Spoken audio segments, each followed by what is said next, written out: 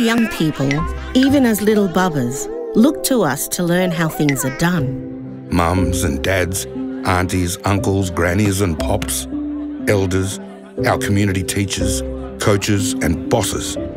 Kids see everything we do. They notice the good and the bad. Like a sponge, they soak it all up. So when we brush off or make excuses for being disrespectful, even if we don't mean to, like, Boys will be boys, you know.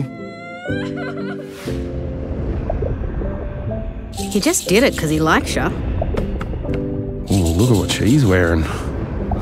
it makes our boys, even as little as, learn to think it's okay to be like that. And our girls too. They learn to think it's all right. That's just how boys are. So it's up to all of us to stop violence against women and girls at the start. Sometimes in our communities it can feel bigger than our mob can handle. But it's not. Aggression against women and girls is not our culture. It's never been our way. And it shouldn't be the way now.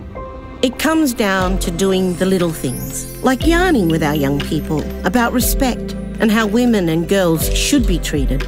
Like when you see or hear something you're not comfortable with, if they have a question or when they just want to have a yarn with you.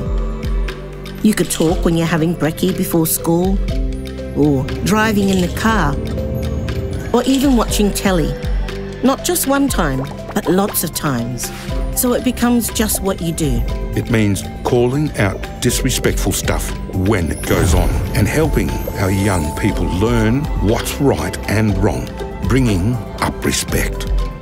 So let's forget shame and keep working together on making our young people the best they can be. Because every yarn helps shape them.